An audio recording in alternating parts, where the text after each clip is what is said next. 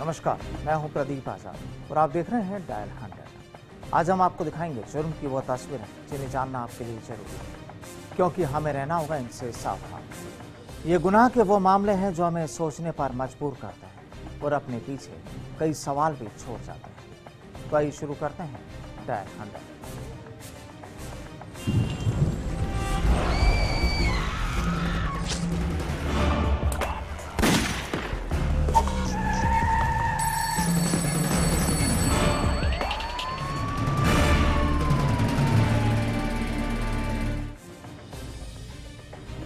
न ही अलमारियों के दरवाजे तोड़े गए और ना ही दरवाजों के ताले तोड़े गए। लेकिन इस सब के बावजूद अलमारियों से गायब हो गए करीब एक करोड़ की कीमत के गहने और लाखों की नकदी। डायल में आज पास सबसे पहले चोरी की एक उस रहस्यमय वारदात की, जहाँ घर के लोग भी घर में ही मौजूद थे और फिर सबके बीच से ही चोरी की एक वो वारदात हो गई, जिसके बाद पुलिस भी पसोपेश में है कि आखिर ये मामला क्या है। चंडीगढ़ में एक कारोबारी के घर में हुई वारदात की पूरी तस्वीर देखते हैं। इस रिपोर्ट के ज़रिए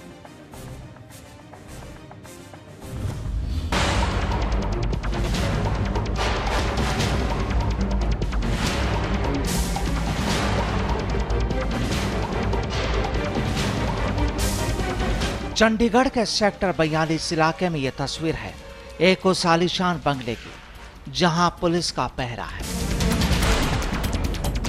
और पुलिस अपनी मौजूदगी में एक उस वारदात की तह तक पहुँचने की कोशिश में जुटी है, जो बड़े ही अजीब करीब ढंग से सामने आया है।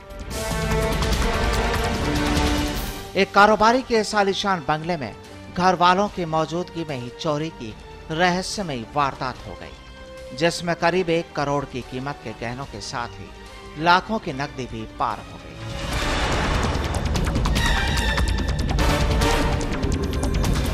दरअसल इस घर के मालिक कारोबारी राजेंद्र गुप्ता के बेटे की पत्नी पिछले एक महीने से अपने मायके दिल्ली गई हुई थी। और अब जब वो यहाँ लौटी और अपनी अलमारियों को चेक किया तो चोरी की वारदात सामने आई।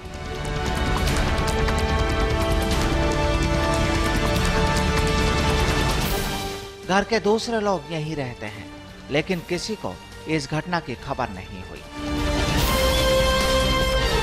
आखिर मामला जब पुलिस के पास पहुँचा तो सीनियर ऑफिसर्स भी यहाँ पहुँचे और मामले की पड़ताल शुरू की गई। अभी सुबह इनकी जो बहू आई है, परसों आई है, एक महीने के बाद आई है तो उसने आके चेक किया तो वो बता रही है अभी कुछ उसके गहने गायब हैं तो वो वेरीफाई कर रहे हैं। कोई फोर्सफुल एंट्री नहीं है, कोई लॉक नहीं टूटा हुआ तो उसको प्रॉपर वेरीफाई कर रहे हैं। तो यहाँ पर सीसीटीवी कोई नहीं है, बाकी आस पड़ोस में हम चेक कर रहे हैं, अभी अगर कोई सीसीटीवी फुटेज मिल जाए हमारे को।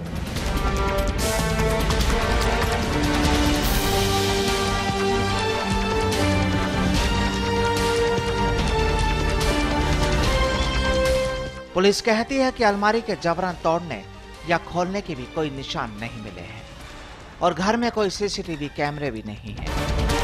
जिसके बाद अब पड़ोसियों के घर के सीसीटीवी कैमरों की जाँच की जा रही है।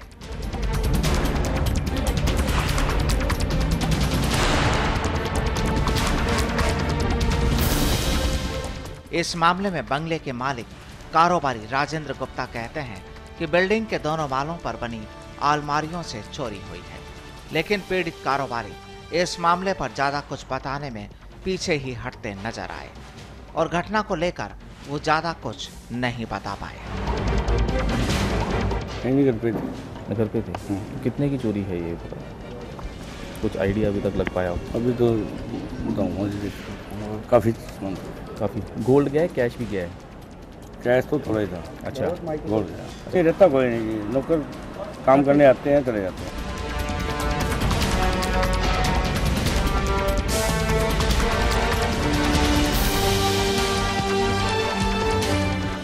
घर के मालिक कहते हैं कि बाहर से नौकर आते हैं, लेकिन काम करके चले जाते हैं और घर में परिवार के सभी लोग रहते हैं। तो फिर सवाल ये कि आखिर वारदात हुई तो कैसे? और वो भी बिना कोई तोड़ फोड़ अब हालाँकि इस मामले पर चंडीगढ़ पुलिस कहती है कि वो सभी पहलुओं पर अपनी जाँच में जुटी है। पुलिस कहती है कि वो जाँच कर रही है कि आखिर ये वारदात हुई तो कैसे? इन्वेस्टिगेशन चल रही है उसमें। कितने की चोरी हुई?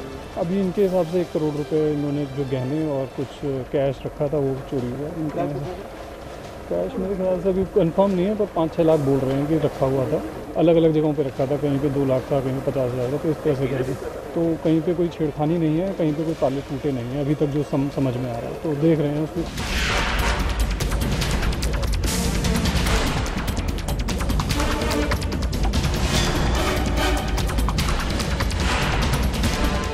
अब हालाँकि यहाँ पुलिस की तफ्तीश का दौर जारी है, लेकिन मामले को लेकर कई सवाल भी उठ रहे हैं। मसलन, मामला घरेलू तो नहीं, वहीं घर में एक करोड़ की ज्वेलरी होना भी कई सवाल खड़े करती है। वहीं यह भी मुमकिन नहीं लगता कि बिना कोई बल प्रयोग किए एक करोड़ की वारदात हो जाए और घर में मौजूद लोगों को खबर भी ना हो।